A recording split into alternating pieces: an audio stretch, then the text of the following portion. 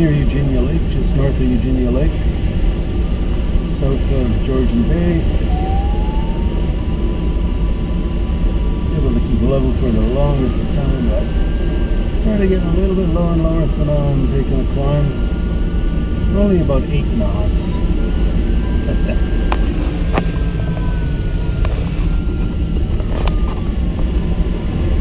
I'll ride this up to maybe 7,000 feet and then I'll go into cruise mode again, hopefully for a nice long while.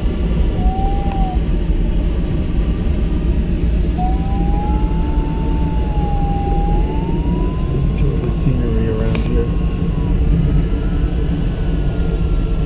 And that's the uh, the cloud of thermal that's giving me this ride. There's Georgian Bay. So we sweep around.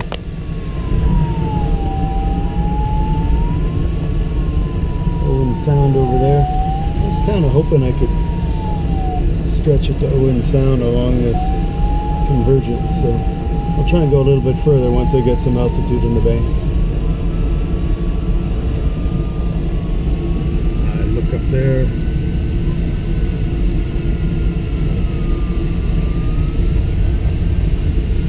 Looks nice, it's yellow.